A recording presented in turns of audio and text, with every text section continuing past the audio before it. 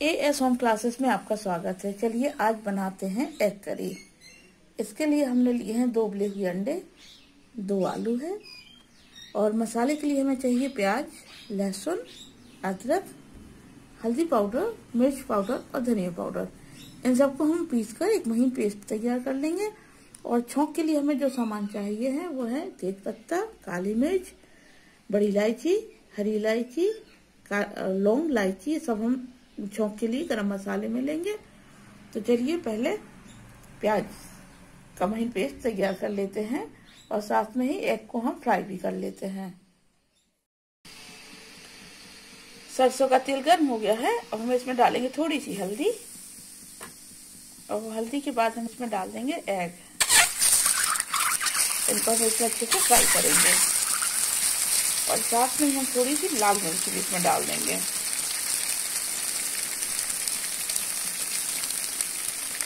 और इन सबको हम अच्छे से मिला लेंगे।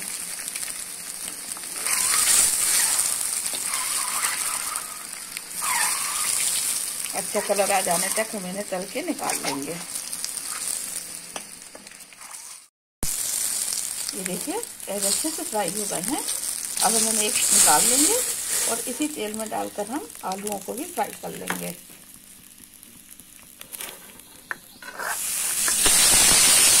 तेल में हम आलू भी डाल देंगे। तो इन्हें भी हमें फ्राई कर लेना है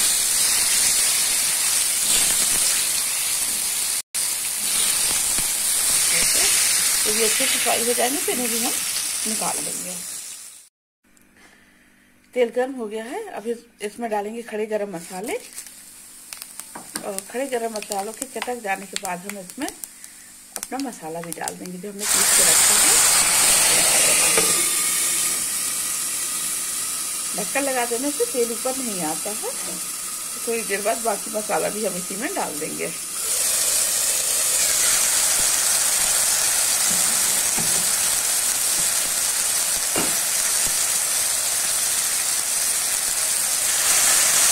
अब इस मसाले को हमें अच्छे से भून लेना है।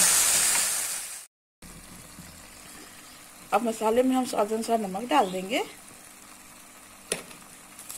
साथ में कसूरी मेथी कसूरी मेथी को हाथ से थोड़ा सा दरदरा देना है, ताकि अच्छे उसकी महक आ जाती है। साथ में डालेंगे सब्ज़ी मसाला और काश्मीरी लाल मिर्च। काश्मीरी लाल मिर्च से इस सब्ज़ी में कलर अच्छा आ जाएगा। और इन सबको हम अच्छे से मिला देंगे और अब हम मसाले को तेल छोड़ने तक अच्छे से भून लेते हैं। मसाले में हम आलू भी डाल देंगे जो हमने तल के रखे थे। इन्हें भी हमें मसाले के साथ अच्छे से भून देना है। देखिए मसाला कितना अच्छा दिख रहा है।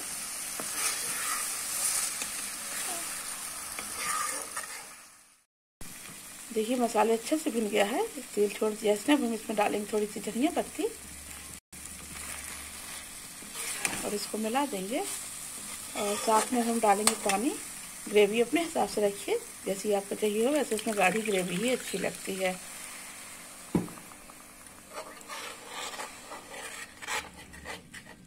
एक सब मिला के सबको पानी पकने के लिए हम ढक्कन लगा कर रख देंगे।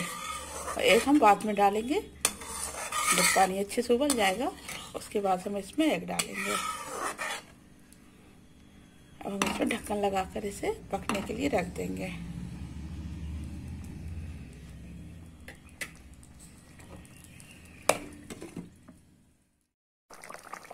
ये देखिए, पानी भी अच्छे से पक गया है। अब हम इसमें एग डाल देंगे। ऐसे डाल के एक दो मिनट भी पका लेना है। और उसके बाद हम गैस बंद कर लेंगे।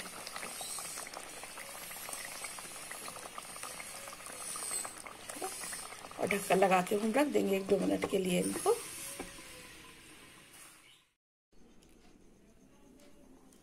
ये देखिए, हमारी एक करी बनकर बिल्कुल तैयार हो गई है।